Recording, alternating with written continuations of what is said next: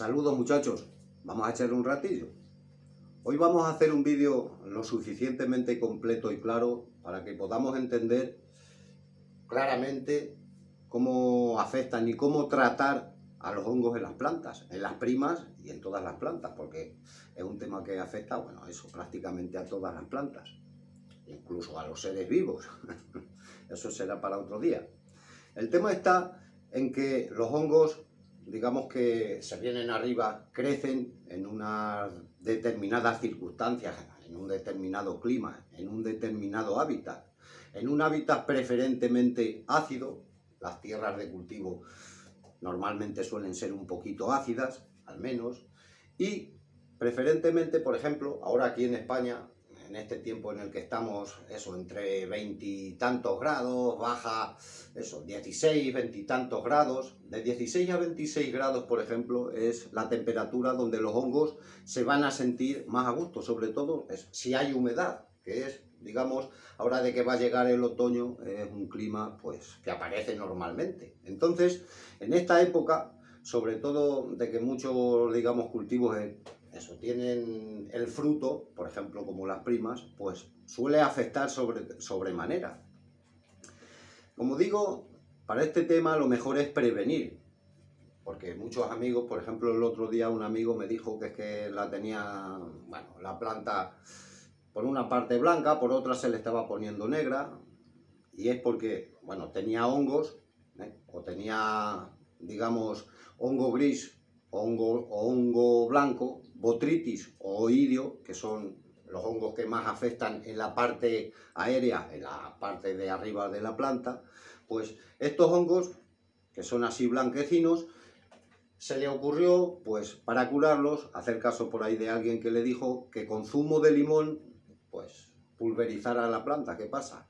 La planta quizá, donde le cayó zumo de limón, en sí, pues quizá en parte quitó un poquito de, de eso, de hongo. Pero lo que empezó a hacer, sobre todo porque era un cultivo de interior, fue que empezó a podrirse otro hongo. Ya digo, es un tema muy complicado y a la vez muy fácil de prevenir y quitarte todo tipo de líos. Vamos a ver unos elementos básicos que podéis encontrar fácilmente y que, bueno, tiene un, eso, un nivel de complicación de hacerlo de cero. Aquí tenéis bicarbonato sódico, aquí tenéis cal, esta es muerta, pero para, esta, para este tema si la queréis utilizar viva, os vale perfectamente. Y aquí tenéis ceniza. El azufre en polvo, de que la planta, digamos que como mucho está empezando a, a florecer, de que las primas, por ejemplo, están empezando a florecer, si le echáis un poquito de azufre, os va a ayudar a muchos niveles. Además de que previene muchos, eso, muchos bichos, además alimenta a la planta. Siempre os digo que eso, eso en polvo, porque el azufre en principio no se puede disolver en agua. Pero a partir de ese momento, de ese principio de floración, el azufre no lo recomiendo a ningún nivel. ¿Por qué? Porque por muy poco que pueda quedar producto en, en el fruto y luego lo consumáis, el azufre, sobre todo si es eso, inhalado, el azufre es muy tóxico. Entonces el azufre, ya digo, como mucho lo podéis añadir, incluso a la tierra le podéis echar un poquito de que preparéis vuestro compost, porque es eso, es un elemento químico, al igual que el calcio de la cal, o el potasio y la cal, bueno, y más, más elementos que tiene la ceniza, pues son elementos químicos que le vienen bien a todas las plantas.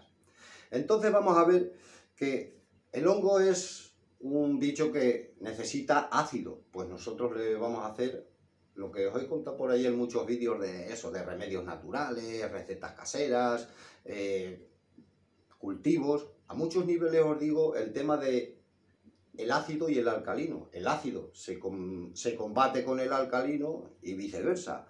O sea, si tenemos un bicho que necesita ácido, que vive de ácido, pues le proporcionamos un caldo alcalino.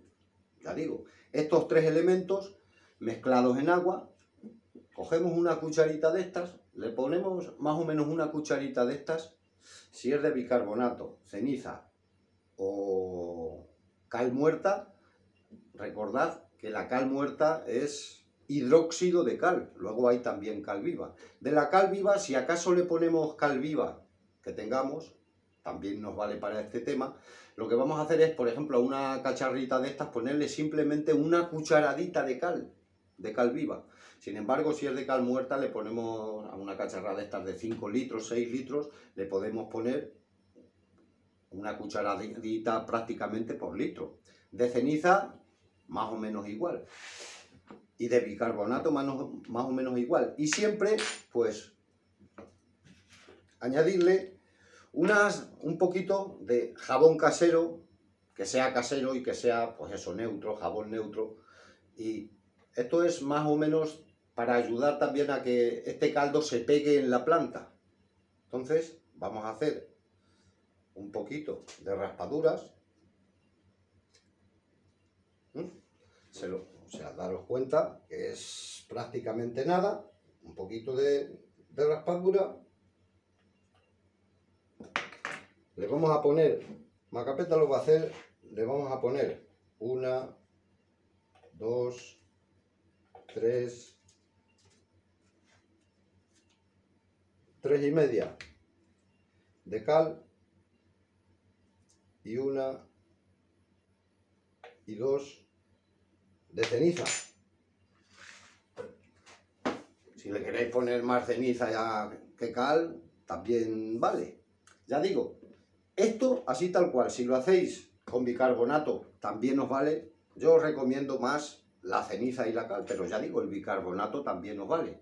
Y esto, pues eso, removerlo y en un frasco de esto de pulverizar, pues pulverizar la planta lo podéis hacer, por ejemplo, para prevenir, ya digo, sobre todo de que eh, un poquito antes incluso de empezar la floración, podéis ir cada 10 días pegarle un, un, rociado a la planta, os va a ayudar no simplemente contra los hongos, sino, sino contra muchos otros bichos, por decirlo de alguna manera. Otro elemento que nos puede ayudar, aquí tenéis lejía potásica, que es, bueno, jabón potásico líquido, por decirlo de alguna manera. Esto, aquí al final del vídeo, sabéis que salen unos links de listas de reproducción, pues en la serie de cultivos caseros, los que queráis saber más sobre la cal, ya digo, la cal muerta, la cal viva, pues ahí en, en, la lista de reproducción de cultivos caseros tenéis un vídeo sobre la cal, otro sobre la ceniza, cómo hacer esta lejía potásica. Ya digo, la lejía potásica, pues igual, le podríais mezclar también un chorreoncito, no sé, un 1%, por ejemplo, o quizá incluso menos de, de lejía potásica, o si queréis también al principio de floración, ya digo, también el purín de ortiga, que también lo podéis encontrar en, esa lista de, de, reproducción, cómo hacerlo y demás, pues también os va a venir bien, digamos, para tratar a esos hongos. Ya digo, eso en principio sería para el tema de arriba, ¿eh?